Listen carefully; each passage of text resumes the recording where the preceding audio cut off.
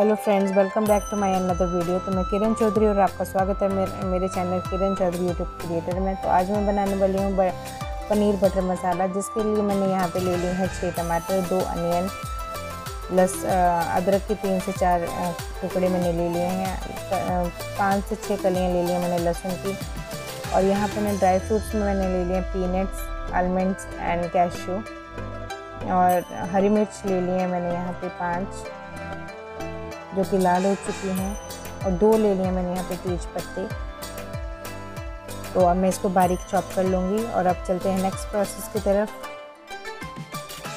तो यहाँ मैंने कढ़ाई ले ली है, जिसको मैंने गर्म होने के लिए रख दिया है। यहाँ मैंने दो चम्मच डाल दिए देसी घी के, देख सकते हैं घी हमारा गर्म हो चुका है। अब मैं डाल दूँगी इसमें जीरा, आधा चम्मच, छोटा चम्मच मैंने यहाँ जीरा डाल दिया है। और यहाँ अब मैं डाल दूँगी यहाँ पे आधा छोटा चम्मच डाल दूँगी मैं साबुत धनिया। तो इसको मैं क्रश कर लूँगी हाथ में। इसको हाथ में क्रश करने से बहुत ही अच्छा फ्लेवर इसका आता है सब्ज़ी में। तो यहाँ मैं इसको हल्का ब्राउन कर लूँगी और अब मैं डाल दूँगी इसमें यहाँ पे तेज पत्ता। तो एक तेज पत्ते का यूज़ मैं यहाँ कर लूँगी और एक तेज पत्ते का यूज़ मैं जब मैं बटर का छोंक लगाऊँगी तब करूँगी। तो उसके लिए आप मेरी वीडियो को देखते रहें। तो यहाँ मैंने डाल दिया है लहसुन, अदरक, लाल मिर्च और प्याज। तो इसको मैं आप ब्राउन होने तक पकाऊँगी प्याज को। तो इसको मैंने अच्छे से मिक्स कर दिया है और इसको मैंने पकने के लिए रख रख दिया है। अब मैं दूसरी साइड मसाला तैयार कर लूँगी। तो उसके लिए मैंने एक बाउल ले ली है। इसमें मैं डाल दूँगी वन फोर्थ टी स्पून हल्दी। पाउडर हल्दी पाउडर मैंने यहाँ ले लिया है। यहाँ पे मैं डाल दूँगी आधा छोटा चम्मच डाल दूँगी मैं धनिया पाउडर और आधा चम्मच ही डाल दूँगी मैं यहाँ पे लाल मिर्च पाउडर। तो यहाँ मैंने दही के तीन बड़े चम्मच ले लिए थे, उसमें मैंने उस मसाले को अच्छे से मिक्स कर दिया है, देख सकते हैं आप। दही आप अपनी अकॉर्डिंग ले सकते हैं, कम ज़्यादा आप अपने अनुसार ले सकते हैं दही को। तो यहाँ मैं आधा चम्मच और ऐड करूँगी दही। तो यहाँ मैंने आधा चम्मच ऐड कर दिया है, जिसको अच्छे से मिक्स कर दूँगी। तो ये हमारा अच्छे से मिक्स हो चुका है, देख सकते हैं आप। अब मैं इसमें डाल दूँगी तीन से चार छोटे छोटे क्यूब मैंने बटर के काटे हैं, वो इसमें मिक्स कर दूँगी। बटर को मैं यहाँ पिघलाऊँगी नहीं, ऐसे ही इसको अच्छे से मिक्स कर दूँगी। और जब तक हमारा मसाला बन के रेडी नहीं हो जाता, तब तक इसको रेस्ट के लिए रख देंगे। तो मैं इसको रेस्ट करने के लिए रख दूँगी और यहाँ पे देख सकते हैं आप, प्याज हमारा पक चुका है। अब मैं इसमें ऐड कर दूँगी जो मैंने ड्राई फ्रूट्स लिए थे ड्राई फ्रूट्स को भी अच्छे से रोस्ट कर लूँगी इसमें मैं अब। तो अब यह प्याज हमारा पक चुका है तो मैं टमाटर इसमें ऐड कर रही हूँ।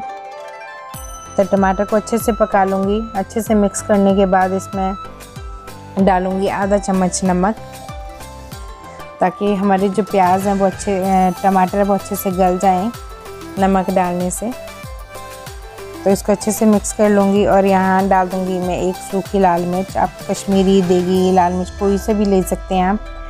तो यहाँ डाल दूँगी एक गिलास पानी और इसको ढक के पकाऊँगी मैं ताकि हमारे जो टमाटर बहुत अच्छे से पक जाएँ। तो मैं इसको मीडियम फ्लेम पर दो से तीन मिनट पकने दूँगी।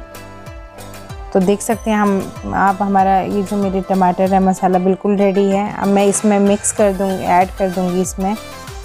जो मैंने मसाला तैयार करा था, दही वाला तो इसको मैंने ऐड कर दिया है। अब मैं इसको अच्छे से मिक्स कर दूँगी, ताकि ये एक बराबर इसमें मिक्स हो जाए मसाले में, और फिर मैं इसका बनाऊँगी फ़ाइन पेस्ट तब मैं यहाँ पे अभी और एक से दो मिनट इसको मैं ढक्कन बंद करके मीडियम फ्लेम पर इसको पकने दूँगी, ताकि मसाले का फ्लेवर अच्छे से इसमें आ जाए। तो देख सकते हैं आप, बिल्कुल रेडी हो चुका है हमारा मसाला पक के। अब मैं गैस की फ्लेम को कर दूँगी ऑफ़ और इसको रख दूँगी ठंडा होने के लिए।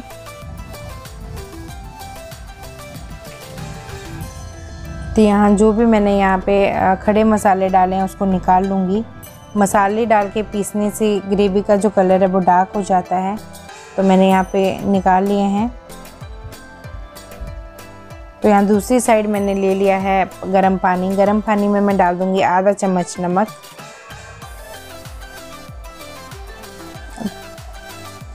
तो इसको अच्छे से मिक्स कर लूँगी। अब इसमें डाल दूँगी मैं पनीर। पनीर के मैंने छोटे छोटे क्यूब कर लिए थे, देख सकते हैं आप। तो इसको गर्म पानी में ढक के रख दूँगी, जिससे इसका जो सॉफ्टनेस है वो बनी रहे। और ऐसे पनीर बहुत सॉफ्ट हो जाता है। बिल्कुल भी हार्ड नहीं होता है ये बनाने पे। तो इसको मैं रेस्ट के लिए रख दूँगी और दूसरी साइड में पका लूँगी ग्रेवी तो मैंने कढ़ाई वॉश कर ली है वही वाली। तो अब मैंने यहाँ पे लगाना है बटर का चौक तो उसके लिए मैंने यहाँ पे ले लिया है बटर दो बड़े चम्मच मैंने बटर लिया था। उसमें मैंने ऐड कर दिया था तेज पत्ता। और यहाँ एक चम, एक मीडियम साइज़ प्याज को मैंने बारीक चॉप कर लिया था चॉपर में। तो इसको मैं हल्का ब्राउन होने तक पक होने तक पकाऊँगी। तो प्याज हमारा पक चुका है। अब मैं इसमें डाल दूँगी टमाटर। तो टमाटर को भी इसमें अच्छे से पकाऊँगी। फ्रेंड्स इसे बहुत ही अच्छा और बहुत रिच फ्लेवर इसका आता है बटर का।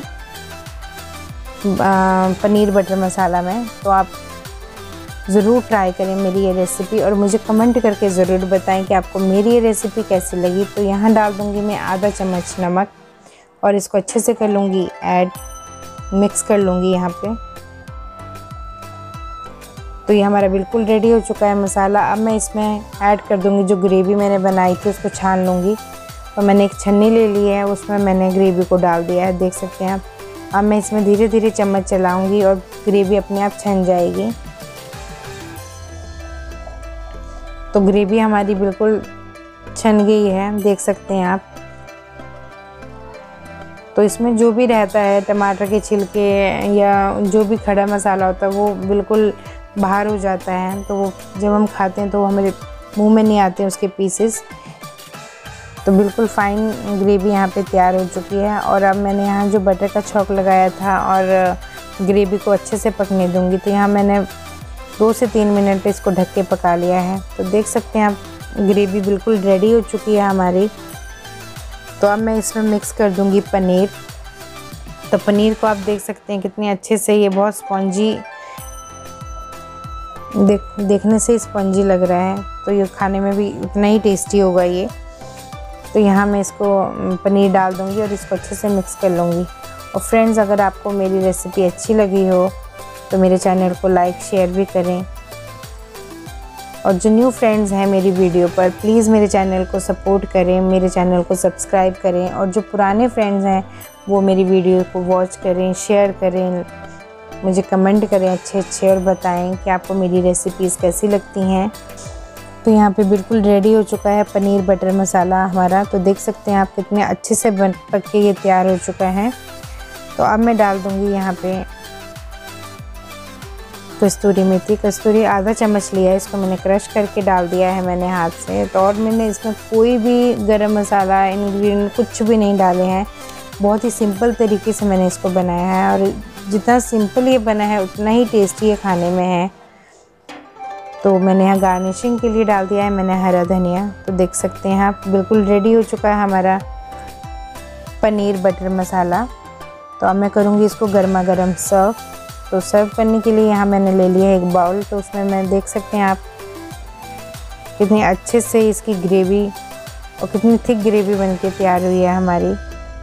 तो फ्रेंड्स अगर आपको मेरी रेसिपी अच्छी लगी हो तो आप मेरे चैनल को लाइक शेयर और सब्सक्राइब ज़रूर करें। बेल आइकन को दबाना बिल्कुल भी ना भूलें, जिससे मेरी नेक्स्ट वीडियो की नोटिफिकेशन सबसे पहले आपके पास पहुँचे। और आपका बहुत बहुत धन्यवाद मुझे सपोर्ट करने के लिए और मेरी वीडियोस को इतना प्यार देने के लिए। So thanks for watching my videos.